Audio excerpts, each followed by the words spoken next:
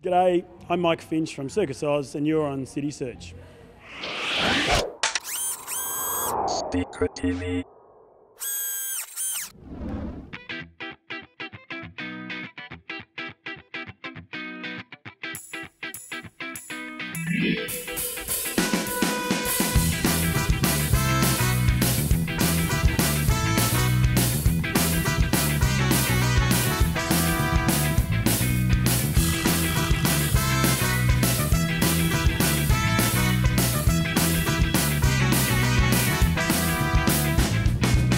Circus Oz was part of the reason I got into circus in the first place, so it's a bit like, you know, it's like starting your own little garage band because you want, you know, because you love the Rolling Stones, and then one day you get offered Keith Richards' job or something. You know, it's like that.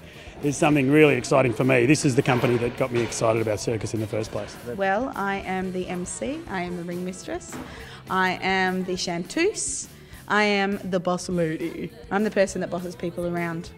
Look, we're, I mean, that's a good thing about Circus Oz is that every, all the performers do quite a number of different things in the show.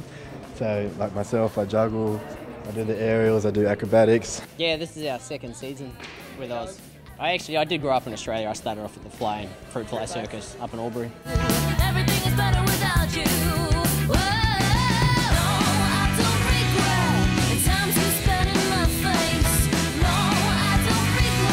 Well, we it, it, steampunk first occurred to us a, a year ago. Actually, our set designer Daryl Cordell came to one of our design meetings and just went, "Do you guys know about steampunk?" And for me, it was just like I slapped myself in the forehead because I knew I did know about steampunk, you know, but I had never connected it with Circus Oz.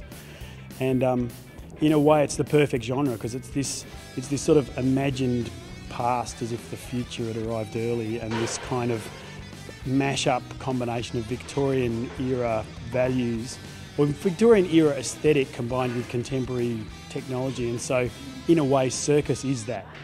I think we're conditioned to say more steam, more punk, and more power. More steam, more punk, more power. more Nah. fun. We're gonna have more fun, I think, because we know, you know, we know what we're doing a little bit better this time around. So we'll have a blast Speak for on yourself. stage. The version of the show we're doing this year is a bit of an evolution of the last year's show, except it's um, it's kind of been cranked up a little bit. So I guess you know, we've turned the knob to 11.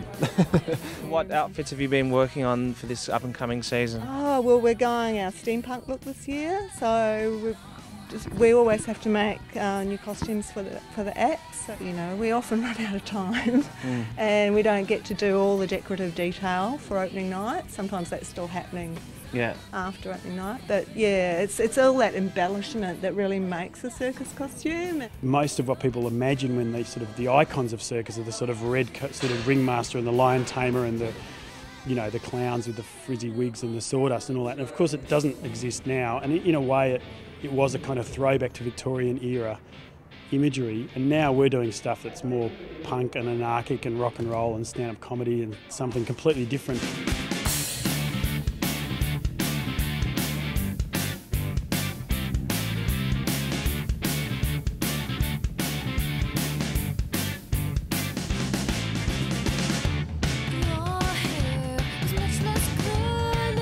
So this is the main drill hall, and we perform all our um, rehearsals and training in here with trapeze, and all the rigging in the roof allows us to swing on ropes. Up the back there is our workshop where we build all of our props.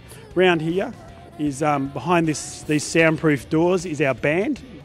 Anyway, it's not that soundproof, but they're inside there rehearsing the music, and all of our acrobats have been training to, to play all their brass instruments. We actually designed the show partly down here, so this would be a typical way that we'd talk about building the show. This is our teeter board act, and we're listing stuff up, but it's a constant process of devising, so we don't work to a script. So the show is basically built by the people that are in the room when you get together. Yeah, so this is our space. This is where we make our work. I don't want to lie here in outfield, so I get up. Secret TV.